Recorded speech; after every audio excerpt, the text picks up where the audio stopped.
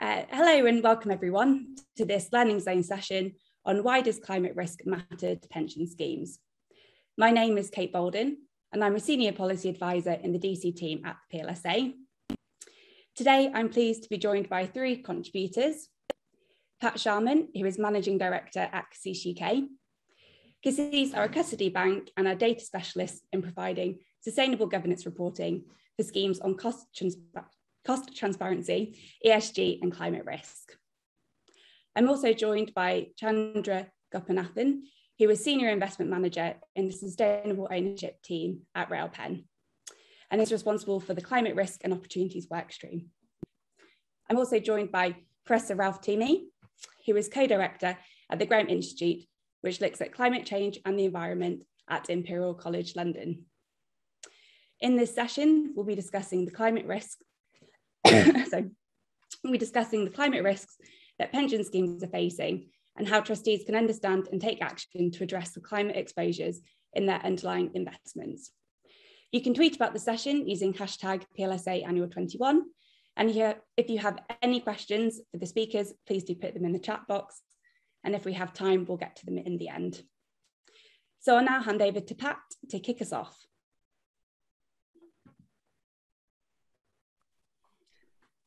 So thank you, Kate, um, and good morning, everybody.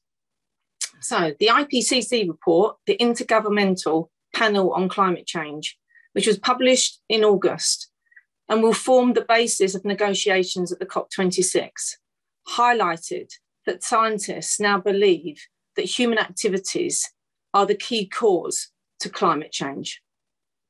In 2019, carbon dioxide concentration levels were the highest for two million years. In August this year, Spain recorded its highest temperature at 47.2, and Sicily recorded 48.8.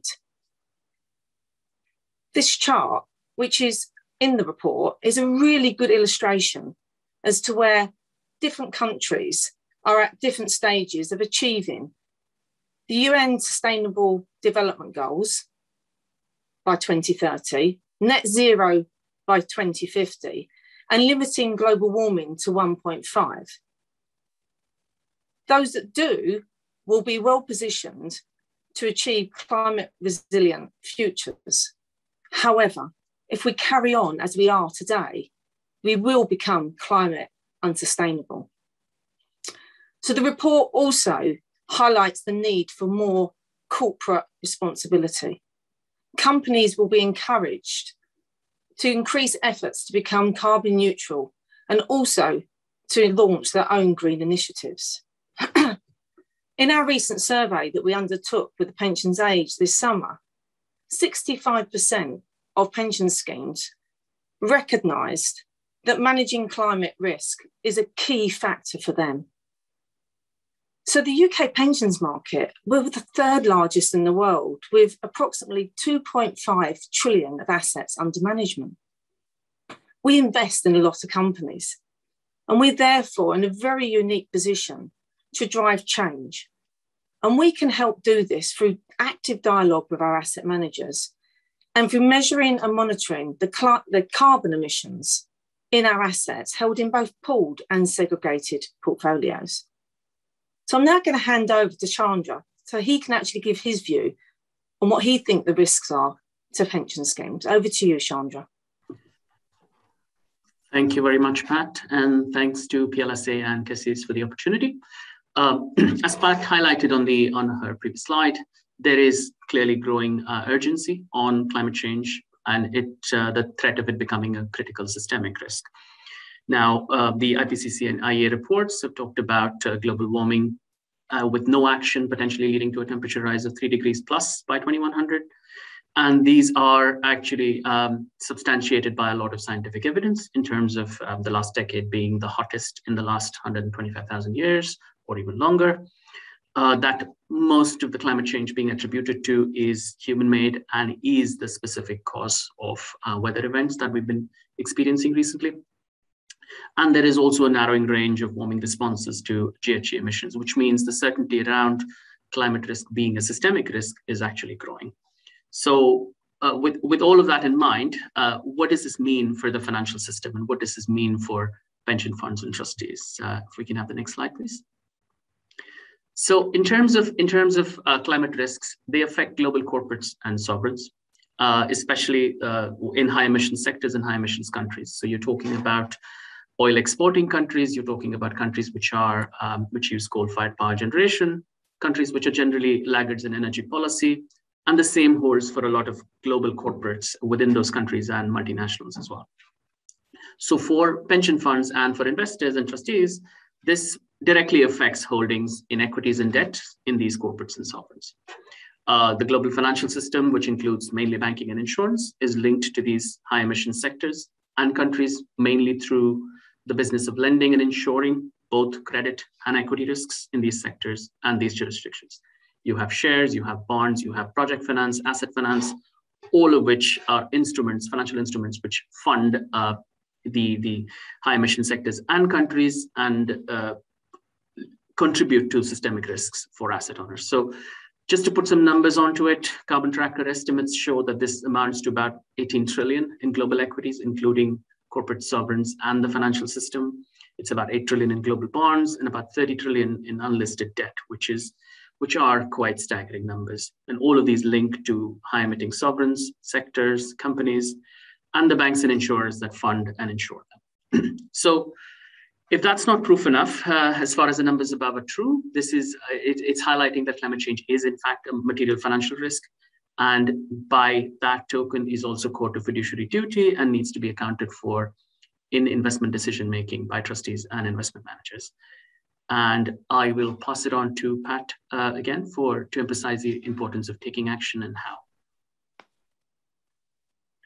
Thank you, Chandra. That gives us a sense as to how you're looking at, at climate risk. So thank you for that. So this is where it becomes interesting. So despite the fact um, that pension schemes understand and are focusing on managing climate risks, as I mentioned on my earlier slide, the perception of the impact of climate risk is misaligned. So in our survey this year, um, we asked the same question that we did of our survey last year. What impact do you think climate change will have on your scheme investments? And the, the results are, are very similar. And in fact, 70% of pension schemes are actually saying that they only believe that climate risks have a low or medium impact on their investments. I'm going to hand over to Ralf in a moment um, to, to actually discuss the different types of risks in, in more detail. But at a very, very high level, you could have a company that's reliant on crop yields or a company that's based in an area that's um, exposed or prone to flooding. And these companies will have to make large capital investments to protect and manage their operations. And bring this a little bit more to life to some more numbers. And according to State Street, 60% of the S&P 500 and 40% of the S&P 1200 global are exposed to physical climate risks. So I'm now going to hand over to Ralf, who's going to bring a more scientific view to this educational session. Over to you, Ralf. Thank you. So the risks that uh, conventionally people talk about, uh, we had already mentioned, is sort of split into physical risk and the transition risk. I'll start off with the transition risk. So the transition risk is about the energy transition which will happen. And the risk is to do with how will your companies and your portfolio deal with that uh, transition. But I think it's worth one maybe breaking it down the risk into maybe i think maybe four relevant components just to make to make that a bit clear what we mean by by transition risk. So the first thing is the risk due to change in policy. So that that would essentially be that you have a company that is just at the wrong end of the policy or that has to implement policy in a way that is costing. And the policy trajectory we're in the month of, uh, of, of COP coming up. The trajectory of policy is clear. There will be more regulation. So the cost of business will go up. And the concern with uh, policy is particularly that policy could change quickly. And people call this disorderly transition. So if there is a sudden political shift and policy shift, uh, companies are not prepared, and then they are uh, effect effectively flat-footed, and then you could end up with, uh, for example, stranded assets if you're a fossil fuel company. If you're not, if you're assuming everything's going to go slow and steady, and suddenly things happen quickly, so policy is a is a is a is a risk, and that that policy goes a lot quicker than any of you think, and it has been. I think if you think about if you told me 10 years ago it would be illegal to have uh, petrol cars in the UK by 2030, I would have thought that's in, um, seems implausible. Right? So things can happen a lot quicker than you realize. So that's the policy risk. Reputational impacts. So um, this is to do with whether or not shareholders want to be associated with companies and whether there is uh, increasing uh, pressure to disinvest from certain activities. So and is the company itself meeting sustainability goals? Is it in the crossfire? So there's the reputational risk, and that can also go very quickly and rapidly and disorderly. So that is a risk. Um, there are general market preferences, which of course is the market cycle. So that, that sort of go, comes and goes but there are definitely preferences. So at the moment, there's a strong preference for anything labeled or approximately labeled as ESG, whatever that means. So there are what you call preferences. Let's call it preferences, not fads, but let's call it preferences. And uh, certainly, pensions like to be in the long term, but who knows how the short, how long the short term is. So if you're in the wrong part of the preference cycle, uh, there is there is a definite risk there. Finally, um, also extremely important uh, is technological disruption. So universities like Imperial College, all of the universities are working hell for leather on innovation. And inevitably, and there is huge amount of government funding, philanthropic funding. So innovation is happening at all levels and technological disruption can be fully expected. So if you're relying on technology which is fossil fuel intensive and you think that's going to be working for the next 10 or 20 years, there's a lot of people that want to eat your lunch. There's going to be a lot of technological um, and driven by government funding and big money funding causing technological disruption. So if you are stuck with old technologies, there is a risk that you will just simply be um, outsold. So you end up with a situation, for example, where solar and wind is now financially competitive with gas. Again, something that you would have thought unimaginable 10 years ago, pure technological innovation. So those are the, the, the transition risks. What that means then in the market means that there, there could be things like a carbon price, which you need to factor into equities. Um, there's a premium you might want to attach to certain companies, carbon premium. However, all of those prices and premiums will be uh, regionally specific. So in some countries, uh, they will apply a different price to others. So it becomes very segmented, very problematic and very dynamic. So it's a, a moving feast. So I think that sort of paints the picture, I think, for the, for the transition risk. So the physical risk, um, next slide. So this is quite a busy slide, but that's the only one I'm going to talk to. So I think, I think to some extent, this slide, in my mind, captures a lot of the essence of climate change.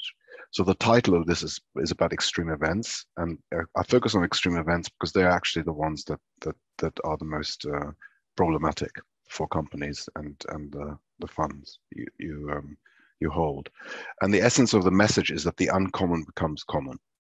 So so how how do how do we get there? So what I'm showing you here is a, a, a probability distribution. So the y-axis is just the probability of a certain temperature happening and the x-axis is the actual temperature, and you can see the label cold, average, and hot. And so you've got basically, let's assume a normal Gaussian bell curve, so a standard probability distribution. So you have an average, which is bang in the middle. That's what happens most of the time. Sometimes it's cold, sometimes it's hot. Now, when we do this probability distribution, we actually take out the seasonal cycle. So actually, it can be a cold July or it could be a cold January. I'm sort of taking that off. So I'm saying it's two degrees colder than it should be in July, or it can be two degrees colder than it should be in, on the 1st of January. That still goes into the cold tail there on the left. So my average is just what I expect in the in the in the season, and the extremes on either side are sort of what we call the anomalies. And see what you see from the distribution, then generally you sort of have this um, bell-shaped distribution. And the key point about uh, climate change is that this distribution then shifts. And the way we perceive the shift is is is two ways. First of all, we're sort of stuck in this uh, middle bit there with the arrow and the top bit, and I call this the adapted zone. So this is your average temperature. So this is what we're used to. So we're used to having fluctuations around the average of a of a couple of degrees, and this is why for a long time people thought, well, what difference is one degree, three degree warming matter, right? So on a day-to-day basis, one or two degree differences on a day-to-day basis don't make any difference to us. We're fully adapted. Everything we design, build, our clothes, our way of living is fully adapted. We know it's January, we prepare for January. We know it's July, we prepare for July. And if we shift the January temperatures just a little bit, or, or, July temperatures just a little bit, doesn't really doesn't matter. And that's what I call the adaptive zone. So that's what we experience most of the time. And we really therefore not really bothered about the weather. We don't really care, which is where the complacency comes from. Now, if you look at the tail, though, if you go to the right side, know, hot as an example, what happens then is what we perceived as hot. So the dashed line would be the hot. So in the past, we sort of would have picked up those things. So this, this would be even from our own memories that, oh, those are really hot days. And just by shifting the distribution, suddenly those hot days become a lot more common, maybe three, four times more common. So that's sort of in the regime where we sort of pick up things, we notice things, and think, oh, well, that's that's happening a lot more frequently it's, it's sort of just at the edge of the adapted zone, so it's not really causing us headaches. But it's it's something we pick up, and all of us have you know starting to know because where's the where's the snow, where's you know where's the glacier, where's all these things. So that's the first bit, and then to the far right is where the real problems are, and this is what I call the unseen. So in that if you look in that tail there, you're sort of looking into the margins, into the shadow. You can't even begin to see what's going on there. And that's partly because we haven't got any data. So there's a very few events. They're extremely hot. They're what happened like in Canada. We suddenly end up with six, seven degrees above normal, and they are unseen. So we have no experience about them. We know statistically that they happen. And the problem is if we shift the distribution as we know we are, these unseen things suddenly become seen. So suddenly you see them. And we're dealing then in a space there where we have very little data, we have very little experience, we have models, climate models that just can't deal with it very well. And yet the probabilities have exploded. If you look at the y axis there, it's sort of invisible probability, hardly ever likely to happen, and suddenly becomes measurable. And that's the problem. It's out of our range of experience. And that's where the complacency comes from. And that's what people think, oh, it'll be fine until it isn't. Because we're basically rolling the dice and we're dealing into, we're moving into this unseen area, we're moving out of the adapted zone. And that is the key aspect of uh, physical risk. So you can draw these plots for rainfall, for droughts, for temperature. Here's just temperature. Any weather variable you want, you can draw these distributions. You can argue about the shapes, how much it shifts, and all the rest of it. But the essence of the argument is always the same. We're, we're sort of we're worried about the tails of these distributions and we're playing with them and we're shifting into, into these unseen uh, events. So I think that completes my presentation. So I'll hand over back to Pat. Yeah, thank you, Ralf. Really interesting and actually, um, you know, really different way of talking about physical risks um, to what we usually do is use examples to bring it to life. So I think that's that's really interesting. Thank you. So we just heard everybody from two experts as to why it's important for pension schemes to take action. Um, and you know, when I come to this slide, why do we feel an independent view is important? Well, really, um, it's, it's quite simple. I think from good governance, I think from the ability as a pension scheme to understand the actual risks and to then to then manage them. Um, you know, unsurprisingly, a lot of pension schemes are still very reliant on their asset manager or, or their consultant and helping them um, verify and, and manage their climate risks. And only 11% at this point in time are actually independently verifying the climate risks, um, majority being the larger schemes. So why is that? So in our survey, um, one of the results that isn't on the slide is that 42% of pension schemes feel that one of the biggest challenge challenges is, is good quality data on both ESG and climate risks. So, not a surprise there. Um, and that's probably why so few schemes are actually undertaking um, independent verification. However, we, we know the data isn't perfect, and Ralf made that very clear. Even the scientists haven't got the perfect um, data, but it is getting better, and there is data available. Um, especially, I think, with pressure from governments and policymakers, and, and the great work of the likes of Ralf are doing um, on on both companies and investors to to both, you know, report um, climate risks and, and monitor them. So we really believe that independent reporting is critical for pension schemes to enable them to, to manage these risks um, and meet their regulatory obligations um, going forward. So I'm just going to hand over to Chandra now to, to let him talk about how Railpen are, are managing some of these risks. Over to you, Chandra. Thank you so much, Matt, and thanks, Ralf, for the for the detail uh, around the physical and trial transition risk stuff. That was really enlightening. So now that we have a better picture around climate risks and its potential implications, uh, let's see what what all the fuss is about around net zero and why there is so much push to to focus on net zero. And uh, we'll talk about our thoughts overall, and then get into what Railpen has done in there uh, in our net zero roadmap uh, going forward. So net zero effectively refers to the balance between GHG emissions, greenhouse gas emissions, which are produced and which are removed from the atmosphere. So netting out to zero at some point in the future. Now, it has been legislated by the UK to have net zero by 2050, and at a certain intermediate level, I believe around 78% by 2035. But what does that mean for asset owners and investors? What that means for us in our simple minds is let's understand the emissions footprint of our investment portfolios as asset owners. What, again, what that means in even more simple terms is let's understand our exposure to high emissions sectors, high emissions geographies, and put it in context of our strategic asset allocation. How much do we have in public equities? How much do we have in bonds? How much are we exposed to, uh, to uh, energy, utilities, aviation, transport, those sectors? And for investment managers and trustees and asset owners to get a handle around what their, how their portfolios are structured from an emission standpoint. The second bit is understand how this emissions trajectory is going to evolve over time. So the higher you have, uh, you are exposed to some of these sectors, there is a possibility that you, your trajectory is potentially going to be significantly higher or will be increasing over time instead of decreasing as well. So let's try and understand that. And the third bit is let's try and figure out how to reduce it over time. So we have more details around around that bit in the next slide. But those are really the three building blocks, understanding the emissions footprint, understanding the forward trajectory, and figure out how to reduce it over time. So with Railpen's net zero plan, we've tried to break it down exactly with those uh, in those simple terms, saying we start with a set of baseline emissions, which is covering it for not our entire portfolio, but majority of our portfolio, which is public equities and, and fixed income.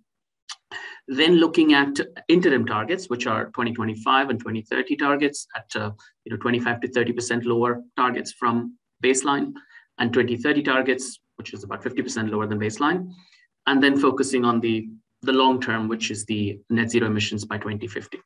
In all of this, our focus is on real world decarbonization versus just on portfolio.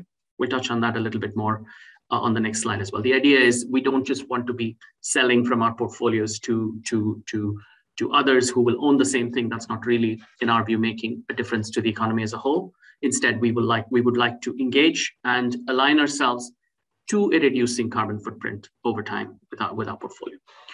So, uh, with a lot of funds asking, okay, what what happens if they don't commit to net zero? We don't have the resources, we don't have the the size, we don't have, and there are so many complexities the one thing I would say, I agree with all those challenges that exist today, and we as an institution have faced it and continue to face it as well. And we, we're facing up to it, uh, I'd say, on a daily basis and, and tackling those.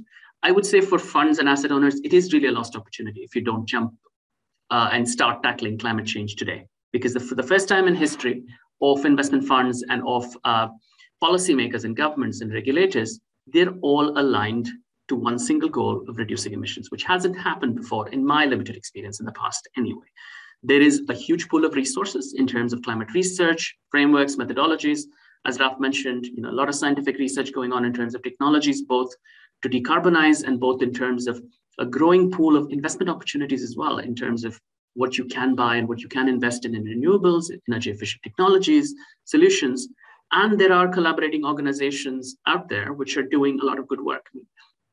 Grantham included, TPI, IIGCC, all of these are institutions which do offer asset owners a lot of resources in terms of frameworks, methodologies, data, sources, templates, all of these sorts of things, which, uh, which asset owners can take advantage of.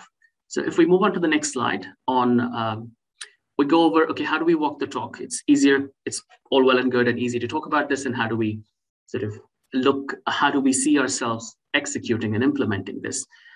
I'd say one thing that this is a journey both for ourselves and for the ecosystem as a whole. And like I said, like Pat mentioned before, the UK pension fund uh, universe has a lot of parties, including asset managers, consultants, uh, you know, asset owners, small and large, and then the portfolio companies themselves. So there are a few things that would play into this, uh, which help the decarbonization process. One is the market decarbonization itself, which we're seeing companies starting to get to decarbonize and change their operations in ways that, you know, that align to Paris, uh, align to net zero.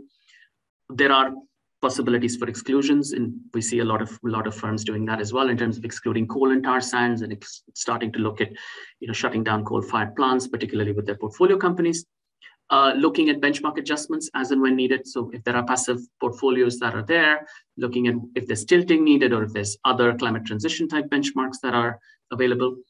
And engagements, which we think are the key to decarbonizing, is working with your companies, particularly the largest emitters within, within the sectors who are looking to transition to a net zero environment. So working with them in terms of assessing their climate transition plans and using the voting, uh, your voting policies as a mechanism to go in and engage.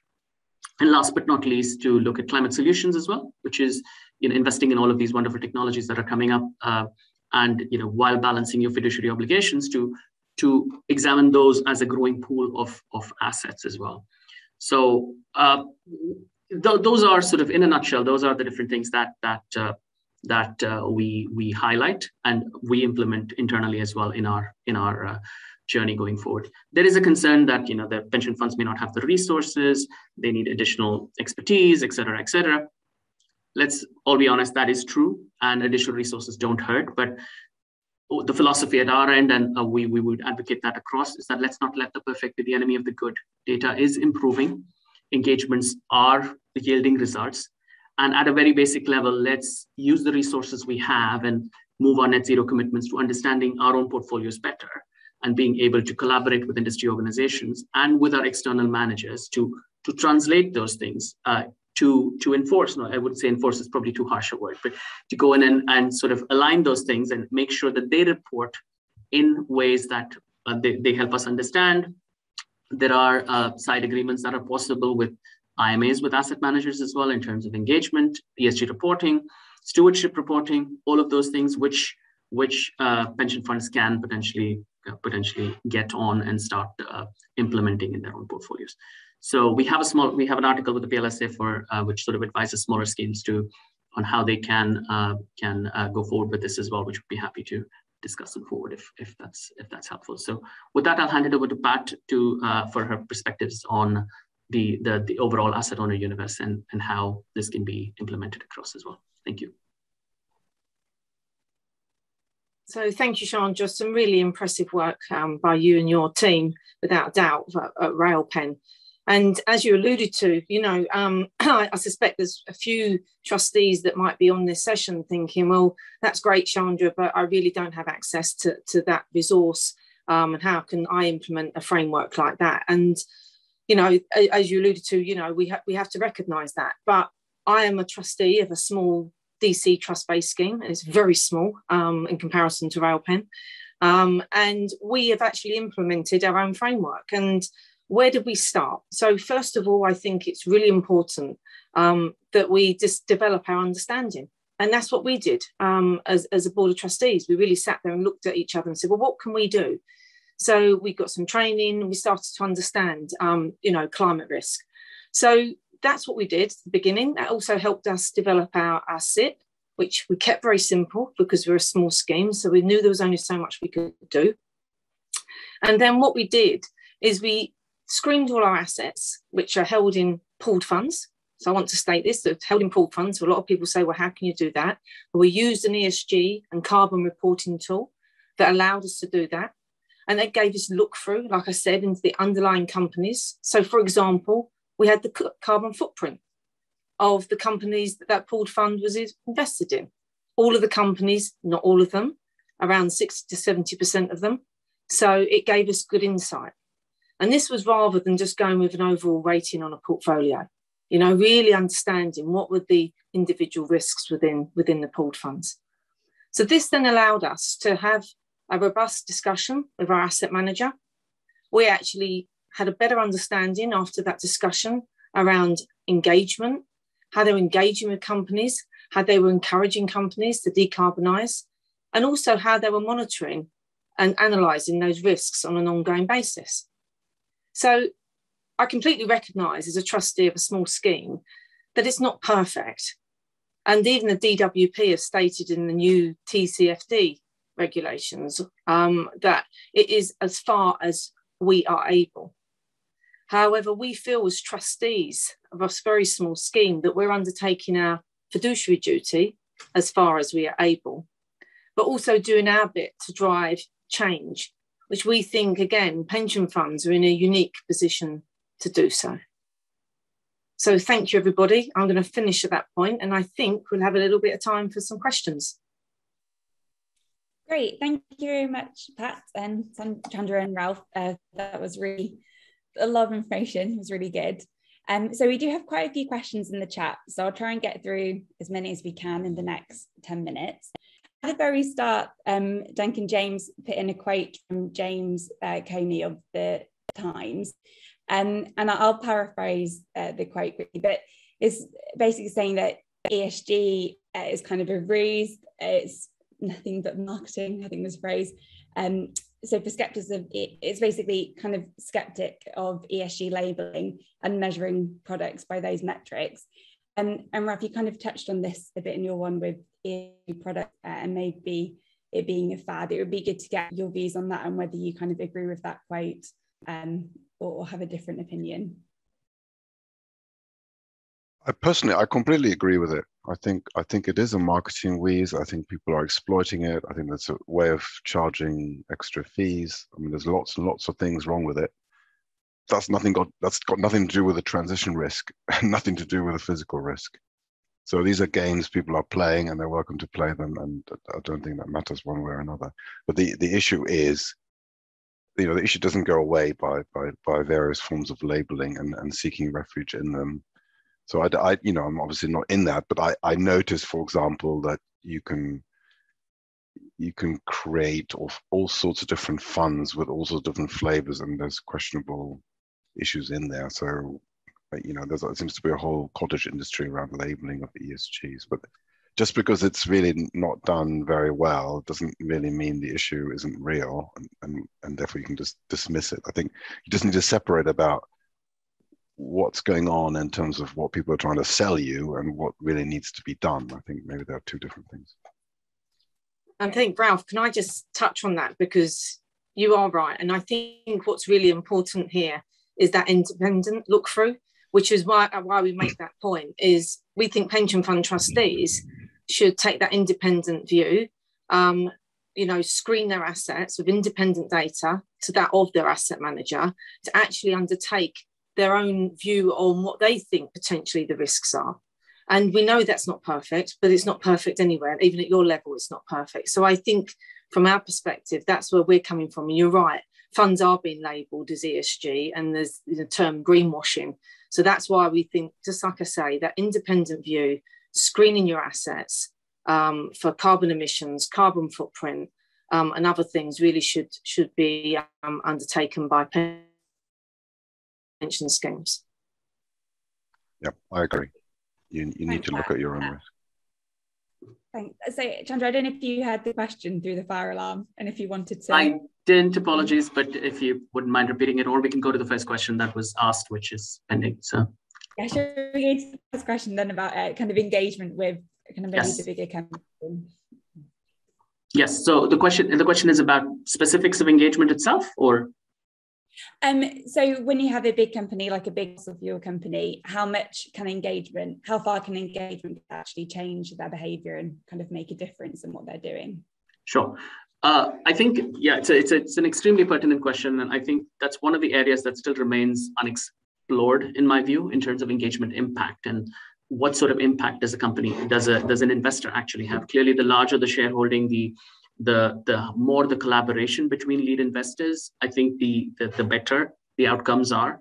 And what we're seeing, I mean, historically, as we've seen with the outcomes with Shell and, and Exxon and, and a few others, there has been movement, but it's been it's it's taken a while. And what we typically tend to tend to look at is collaborative engagements as well. You have parties like Climate Action 100 Plus and a few others that you can collaborate with. And while you do that, one of the things that we have developed internally is a transition assessment or a transition plan assessment framework as well. So looking at the various pillars of where the company is actually going uh, is, is lacking in terms of its either walking the talk or in terms, in terms of its talk itself as to how far or how far ahead or behind it is, uh, whether it might be climate accounting issues, whether it might be data issues, whether it's to do with plain governance, all of those sorts of things. So these issues can be raised in a substantive way during the voting mechanism. So, so long answer, uh, sorry, short answer to the to the question is that it is it's taking long. It used to take longer. The timeframes are reducing for engagement impact, and I think the more the ecosystem gets involved, particularly asset managers, consultants, everybody gets involved with the large uh, large emitters. I think the faster it, it, it makes the process, but uh, and everybody everybody gets to do their bit to move move this forward. So. Great, thank you. Um, so I'm going to combine a question from Jim Anderson and Tim Lee um, around reporting. So Jim's put, in order to control something, you need to be able to accurately measure it. Um, and at the moment, there's not a universally accepted means of measuring various, uh, various carbon footprints of companies. Um, and then kind of Tim's put, what do you feel uh, are the targets sufficient for ESG reporting kind of around there? So it'd be good to get your view on whether you think kind of the data's out there, what universal metric should maybe be, um, and then whether you feel at the moment the ESG reporting on companies is sufficient. Um, so if we maybe go to Chandra again, sorry Chandra, and then sure, rest of the sure. I mean, there's there's a number of issues and uh, very pertinent ones that the, that the question raises. Uh, number one, is the data available good? Uh, is it perfect? No, it's not. Is it good? And is it improving? Yes. I think on the scope one and two emission side, there is reasonable data available today than there was two years ago. And I think that's positive. Uh, in terms of in terms of uh, standardized metrics, yes, there is still a lot of work and a lot of debate around what metrics are core and what metrics are are nice to have. So there have been discussions around temperature warming and how relevant that actually is to uh, in a portfolio construct. Uh, and there is discussion around the simple metrics like weighted average carbon intensity for the portfolio. So while these things, and I think TCFD does a pretty good job in terms of being able to, you know, identify, uh, being able to, you know, require reporting on that front so people understand it, investors and trustees understand it better. But I would say, I think we, we go back to the same simple principle, saying the first thing to understand is how much of high emission sector exposure that you have. And I think the IIGCC Net Zero Investment Framework does a good job in terms of highlighting how you go about it, where you identify the 70% of 70 or 80% of your material emissions in your portfolio, identify where it's coming from, identify whether you have the right numbers. I mean, make sure you have scope one and two emissions numbers at least to start with. And, and start there. So that I think that gives you a, a reasonable idea of the tail risk in your portfolio as it relates to emissions. And then you go from there. So I, uh, I reemphasize the, the rule from our end is that we don't let perfect be the enemy of the good. So things are good, they're not perfect, but they are improving and we want to be part of the journey. So. And can I just can I just add to that, Chandra? So absolutely agree with everything you've said. I think also consistent data from one year to the next. So looking for trends and what we've seen as a pension scheme is a significant increase in coverage from one year to the next um, and also consistent across asset managers. So using that consistent data, I uh, use that consistent reporting. So at least I've got a comparison. But you're right, it's not perfect and we've still got a long way to go. But I think we need to make a start. It's too important. These risks are too important to, to not take, make a start just because it's not perfect. Great, thank you both. I, am afraid we're out of time uh, as well. I feel like we keep talking for a lot longer on these, and apologies if we haven't got gotten to your questions. Um, but you can connect with the speakers and, and follow up with them. Um, so you can connect with Pat, you can uh, send a connection request through the profile uh, and follow up and ask your questions directly. And the slides will also be available in the documentation of the page uh, once we've finished here. Uh, we would also really appreciate it if you could take the time to fill in the session feedback uh, on the, the conference platform. Um, if you enjoyed the session, you may also be interested in attending a session later today on UK pensions and climate 56. So lastly, in the last couple of seconds, I just want to say a big thank you again to our speakers um, and thank you to the audience for joining us today.